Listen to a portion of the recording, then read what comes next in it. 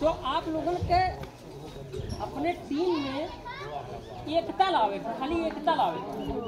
आपके देखो कुछ शिकायत है, आपको कुछ शिकायत है, आपका शिकायत है। खड़ंजा नहीं लगा है।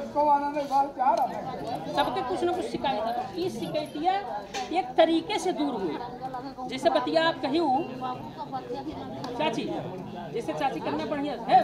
चाची सुनो। चाची इतना बढ़िया बात कही कि जब बीमारी भा है तो अस्पताल जाबो तब तो रवैया हुई। क्यों?